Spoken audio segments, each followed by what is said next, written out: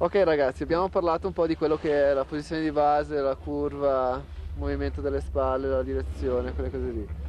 Perché non parliamo anche un po' di divertimento puro, che è proprio lo snowboard? Già salendo su una, su una seggiovia, chi, chi, è uno snowboardista incomincia già a fantasticare, a guardare le, le linee che si possono fare, la neve fresca, i dossi, i salti, cioè cominciare già a immaginarsi la discesa che si vuole fare, divertendosi sempre al massimo.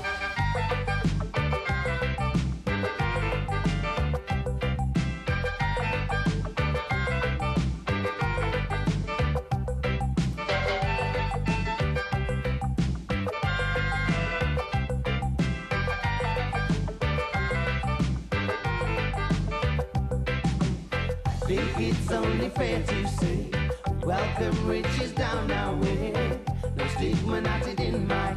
Molti di noi sono anche surfisti, diciamo, quindi eh, sempre stare o sulla neve o in mezzo al mare a fare surf d'onda, o comunque sempre in, una, eh, in un ambiente eh, all'aria, all'aria aperta. Riuscire a fare un lavoro di questo tipo qua all'aria aperta è sicuramente una, almeno per me, una soddisfazione eh, immensa. Poi dopo ovviamente la testa a posto a un determinato punto magari bisogna magari.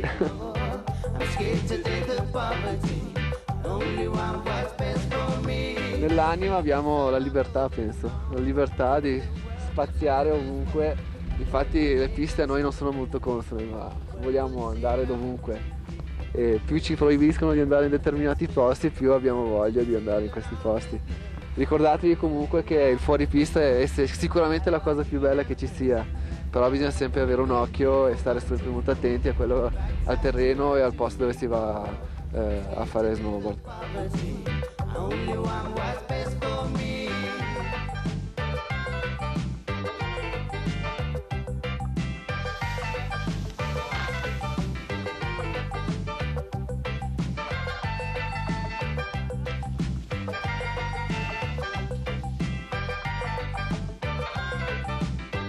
Lo snowboard è accompagnato perennemente dalla musica. Anzi, ultimamente si vede sempre più i rider andare anche a snowboardare con le cuffie in testa. Non è più solo un contorno, ma fa parte proprio del momento in cui uno sta, sta vivendo anche il gesto dello snowboard. La, la musica è tutto, penso, in qualsiasi cosa, ti trasmette delle sensazioni che vanno poi a integrare quello che possono essere le sensazioni che ti prov- fa provare lo snowboard. Quindi è una cosa importantissima. Ognuno poi ha i suoi gusti, ma bene o male nello snowboard va un po' di rock, eh, eh, hardcore, eh, reggae, eh, insomma un po' tutti i generi. Comunque la musica è fondamentale in, questa- in questo mondo.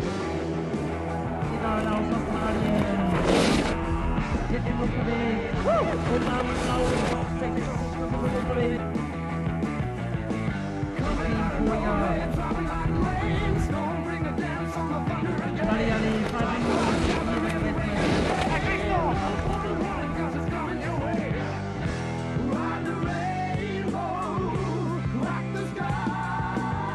che prende seriamente lo sport e, e sta diventando sempre più professionale e quindi deve essere anche sempre più professionale chi lo affronta e arriva a dei livelli altissimi, può diventare ricco addirittura. Ci sono un bel po' di rider che hanno incominciato a...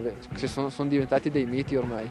I soldi alla fine eh, non sono poi la cosa più importante. Una volta che ti diverti con gli amici, che vai magari su un passo, ti costruisci il salto, stai lì tutta la giornata con i tuoi amici a sparare eh, cavolate, divertirti, a saltare una cosa o un'altra, sei più, più soddisfatto che magari aver avuto una montagna di soldi da parte e non averli mai spesi.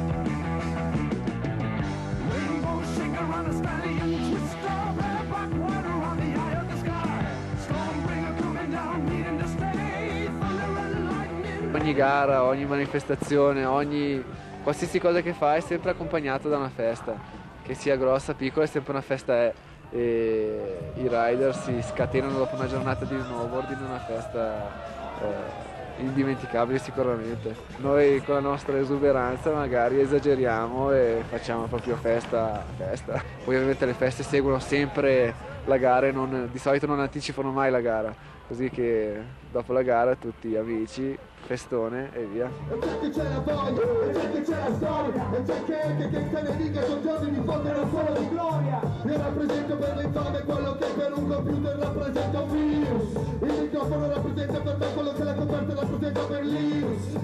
Una cosa positiva è che sono riusciti a, a portare lo snowboard in città, quindi a far vedere a tanta gente che magari non ha la possibilità di andare in montagna, eh, di vedere proprio il mondo dello snowboard, non solo il gesto tecnico in se stesso, ma anche stare a contatto con gli atleti stessi, capire un po' che gente è, vedere cosa fanno, cosa non fanno, perché comunque sono eventi legati sempre a concerti, a feste, a, a manifestazioni proprio del mondo intero dello snowboard, concentrati magari in un paio di serate in città. L'evento per eccellenza che è l'Eren Style che si tiene in Austria vicino a Innsbruck, dove c'è sempre una folla immensa di 20-30 mila persone che vanno a vedere per 2-3 ore questi atleti che fanno manovre incredibili su un salto enorme.